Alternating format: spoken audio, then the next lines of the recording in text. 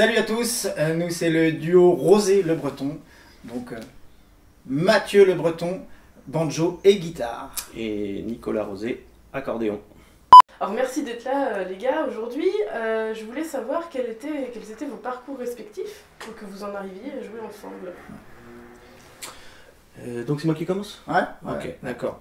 Et ben en fait on était déjà tous les deux dans la, un peu dans la musique bretonne. On va pas remonter au qu'est-ce qui nous a amené à faire de la musique bretonne peut-être, mais euh, dans chacun dans nos groupes respectifs. Moi dans Ourawen, Nicolas notamment dans Digresque.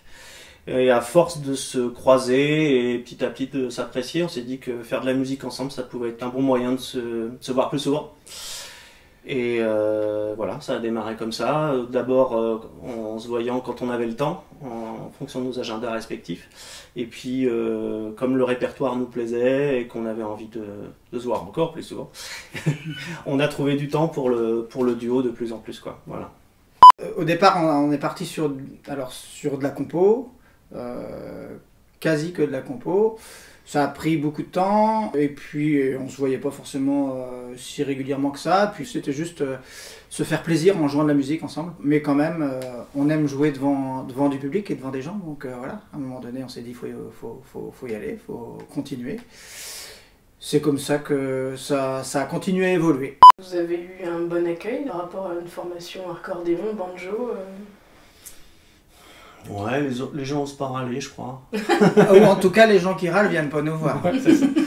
Euh, accordéon, guitare, c'est pas très fréquent, mais ça arrive quand même. Euh, le banjo, euh, et sur certains répertoires notamment, ça peut être surprenant de prime abord, mais oui, euh, tu parlais d'accueil, euh, a priori, euh, les retours qu'on peut avoir là-dessus sont plutôt des retours. euh, Ah, J'y aurais pas pensé, mais, euh, mais en fait, ça va, ça le fait quoi. Ouais. Et puis de toute façon, on n'écoute pas les gens. Nous, nous, ça nous plaît, donc euh, tant qu'on nous invite, on va continuer à venir. hein. Vous avez parlé de vos formations euh, différentes. Vous avez des influences différentes euh, et vous arrivez bien à les mettre en commun justement dans vos compositions, dans vos morceaux actuels? Ouais, après on a des goûts, euh, des goûts en commun euh, Mhm. quand même. Et puis euh, quand on commence un nouveau morceau et qu'on compose une mélodie ou quelque chose, euh, à chaque fois on, se met d'accord. euh, Il y en a un qui envoie un truc à l'autre et puis euh, et puis ça se construit comme ça petit à petit quoi. Ça prend, ça prend le temps qu'il faut. En fait, on s'est découvert euh, en faisant, tout simplement. Euh, on s'est trouvé les points communs aussi en, en élaguant ce qui nous plaisait moins. Euh, et puis la formule a mûri petit à petit. On n'avait pas forcément ni l'un ni l'autre beaucoup de- d'habitude du duo aussi, du format duo, d'avoir autant d'espace euh, l'un comme l'autre. Donc voilà, Euh, en fait on s'est pas posé beaucoup de questions sur ce qu'on avait envie de faire. On a fait et puis ça s'est construit petit à petit et maintenant il y a une identité euh, musicale assez forte qui s'est dégagée de tout ça quoi. Ouais, mais justement l'exer- l'exercice du duo est, est intéressant. Mhm. Ça permet d'avoir aussi euh, plus de place l'un et l'autre, de développer notre musique aussi autrement quoi. Parce Voilà. que dans nos autres groupes ils nous laissent pas trop faire. Alors là Ouais. c'est nous qu'on décide. Parce que là, du coup, il fallait prendre la place. Ouais. Et même au niveau scénique, c'était pas trop difficile, justement, pouvoir euh, habiter plus euh, l'espace. Ben, on est assis, Ouais. contrairement à nos Oui. autres formations où on est Ouais. debout et voilà. Euh, mais finalement, c'est une manière de- d'aborder la façon de donner aux gens qui nous va bien. Encore une fois, on s'est pas beaucoup posé de questions de savoir si on devait être assis ou debout, mais ça, nous- ça, ça marche bien comme ça. On, se regarde pas mal, on, s'écoute beaucoup. Non, la gestion de l'espace, en fait, ça, se passe beaucoup plus. Enfin, je sais pas ce que tu en penses, dans la l'interaction avec le public, quoi, L'é- l'énergie qui circule et ce qui nous renvoie. Après, nous, voilà, on est là, on est, on est beaucoup plus dans l'écoute et dans, dans la complicité que, que dans l'occupation scénique, en fait. Déjà, on fait de la musique à danser, donc forcément, le lien avec le public, il est là. Déjà, dans nos groupes respectifs, euh, on, a, on met beaucoup l'accent sur l'échange avec le public, sur le lien aussi avec les gens qui dansent. En, en duo, c'est pareil pour nous, quoi. On a- Ce qui change, c'est qu'on est récemment, euh, on n'a pas toujours eu à, à jouer pour des gens debout. D'habitude, on est assis et les gens bougent. Et là, euh, pour un peu, on serait presque tous assis et c'est là que ça devient bizarre. Parce que quand nous, on est assis pour jouer pour des gens qui, qui font, euh, bah finalement on se pose pas de questions. C'est quand les gens en face font comme nous que c'est un peu, c'est un peu bizarre. C'est l'ambiance actuelle, on va dire. Voilà. Est-ce que ça a eu un impact, euh, par exemple, personnellement, sur votre envie de création sur- Ça a été une période longue, mais on en a quand même profité pour se voir régulièrement et puis pour pouvoir euh, nous continuer à, à avancer la construction du duo en fait. On s'est vu finalement euh, assez régulièrement quand on pouvait pour construire du nouveau répertoire ou retravailler l'ancien. Mais euh, il y a des, des réflexes et des complicités, des, degrés d'écoute qu'on a qu'en jouant et en jouant souvent, euh, pas en répète, en prise directe avec les gens. Oui, parce que pour proposer un, un spectacle de qualité, en tout cas vous qui, qui vous conviennent, c'est vrai que c'est important de se nourrir euh, du public. C'est euh, primordial, Mm. Ben, ça, ça, ça passe que par là, parce qu'on peut, on peut passer euh, tout le temps qu'on veut à répéter euh, chez nous. Ça sera jamais pareil que quand on joue sur scène devant des gens euh, qui dansent devant quoi. Puis on a, on a, on a fait le choix d'avoir un répertoire euh, vraiment que à danser. On on n'envisage pas, on n'a pas discuté de, comment dire, de se réorienter vers un, spectacle concert. On est vraiment dans la, la musique fonctionnelle euh, à partager avec, avec les gens en prise directe.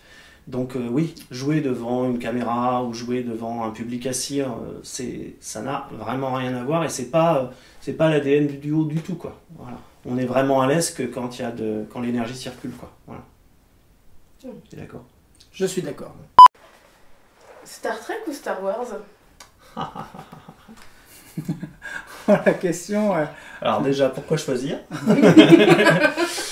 Et quand même, euh, quand même, euh, enfin, alors moi Star Wars. Ouais, ben moi aussi. J'ai- J'ai un, un problème avec les, les soupules en lycra. Star Wars, mais Star Wars, euh, pas tout. Ah non, pas, tout, mais Star Trek non plus. Non. Voilà. Donc en fait, ça dépend. Ça dépend de la période. Voilà, c'est Ouais. ça, pour les deux, pour les deux. Moi j'aime bien les, les soupules euh, avec. Ah non, euh, va fa- falloir qu'on parle de ça, sinon. Ouais, faut que t'arrêtes de mettre ce genre de, de Si. truc en fin de soirée. je jouerai peut-être avec sur scène. Ce serait bien fait ce On pourrait être, euh, Oh mince. Merci. On n'avait pas, de, aidé. on n'avait pas de tenue de scène pour l'instant. Euh, Vous nous remercierez. C'est ça, on va se, on va se rebaptiser euh, The Klingon Brothers.